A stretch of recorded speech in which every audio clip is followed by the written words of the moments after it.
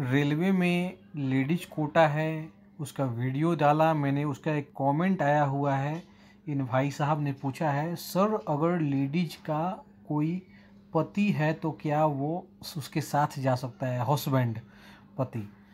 ठीक है, सबसे पहली बात कि जब आप कमेंट करते हैं, बहुत ही अच्छे से कमेंट कीजिए, ताकि बातों को समझ में आए।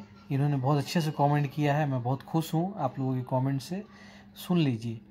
लेडीज़ कोटा होता है रेलवे में तो किसी भी ट्रेन में लोअर बर्थ का छः टिकट जो होता है, वो लेडीज़ कोटा के अंतर्गत होता है।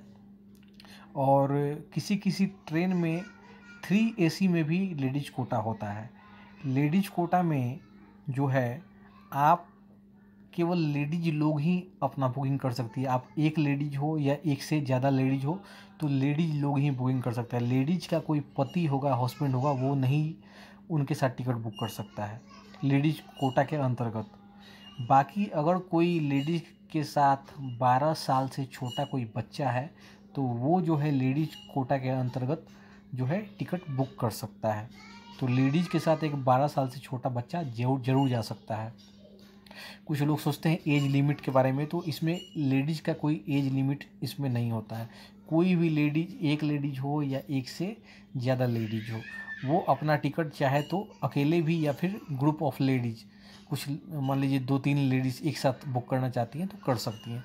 लेकिन लेडीज़ का हस्बैंड अलाउड नहीं है इसमें, उसका पति नहीं जा सकता है। इस चीज़ को ध्यान रखिएगा हमेशा।